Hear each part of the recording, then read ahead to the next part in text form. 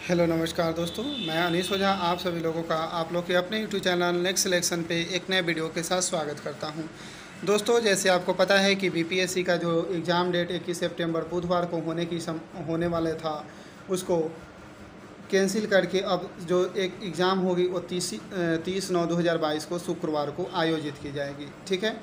और यह जो परीक्षा थी यह यूपीएससी का मेंस होने के कारण ये दिल्ली में नीतीश कुमार के घेराव के बाद A C office Nitish Kumar and BPSC अध्यक्ष सभी लोगों के बैठक के बाद यह निर्णय लिया गया है कि अब जो सिक्सटी सेवेंथ की बीपीएससी का जो एग्ज़ाम होगा, प्रारंभिक एग्ज़ाम होगा, ठीक है, वो अब तीस सितंबर को होगा, ठीक है?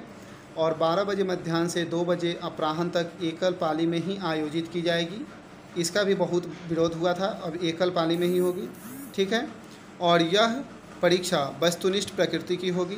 अभ्यर्थी 11 बजे अपराह ग्यारह बजे पूर्वाहन तक परीक्षा केंद्र में प्रवेश कर लेंगे।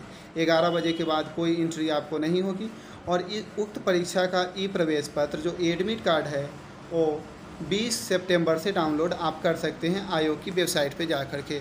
ठीक है दोस्तों? तो अब ज़्यादा दिन नहीं है, आपको 30 सितंबर को एग्ज़ाम है, तीस नौ को, और आज आपका डेट क्या हो गया? नौ। नौ सितंबर। यानी कि टोटल अगर आप माने तो आपके पास 19 से 20 डेज़ बचा हुआ है।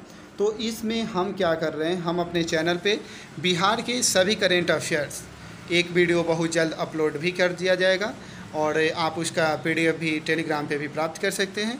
तो आप बिहार से, बिहार स्पेशल साथ ही साथ हम आपको रैपिड रूप से कुछ टेस्ट का भी प्रयास करेंगे कि आपको टेस्ट भी दिया जाए ताकि आप लोग को बहुत ज़्यादा बेनिफिट हो। तो थैंक यू फॉर वॉचिंग अगर आपको वीडियो अच्छा लगे तो चैनल को सब्सक्राइब करके सपोर्ट करें। जैसे ही कोई भी वीडियो अपलोड होगा, वैसे ही आपको नोटिफिकेशन मिल जाएगा। Thank you for watching